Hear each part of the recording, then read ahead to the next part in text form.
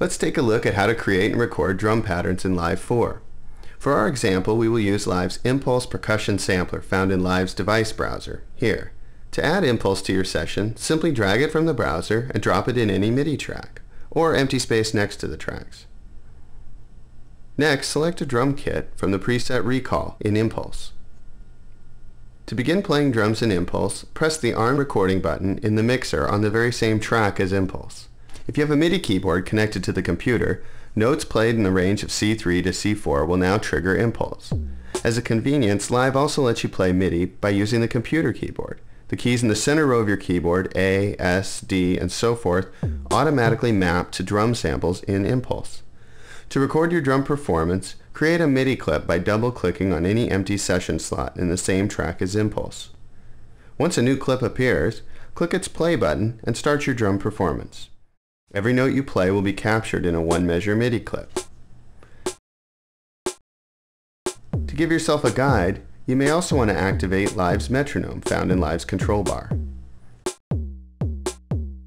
You can continue to overdub as you like, and if necessary, erase any mistakes using Live's undo command.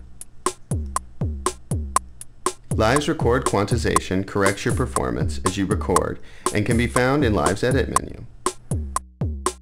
If you'd like to keep your performance's original timing, set record quantization to no quantization. You can also quantize after you record, as we will soon see. First, however, let's learn to edit and draw patterns using Live's Draw mode. To do this, click on the pencil icon in Live's toolbar and then click on any empty grid tile to create a new note.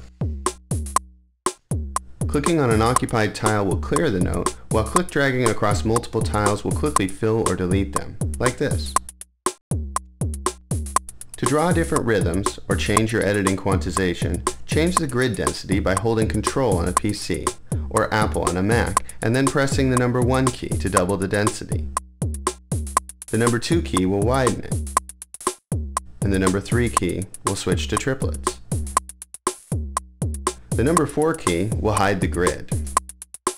Remember to hold down the Control key or the Apple key while pressing these numbers. You can now quantize any note to the current grid setting. Simply select the note you'd like to quantize and then choose Quantize from Live's Edit menu.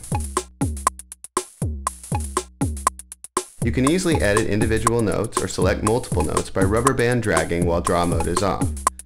To select all notes for a given drum, click on the white field next to its name, and then move these notes with the arrow keys. You can also adjust their velocity by holding down Control on a PC, or Apple on a Mac and dragging up or down. Or you can simply draw the velocity curve for the entire pattern like this. To extend your pattern, simply type in the desired loop length in the MIDI clip's loop editor.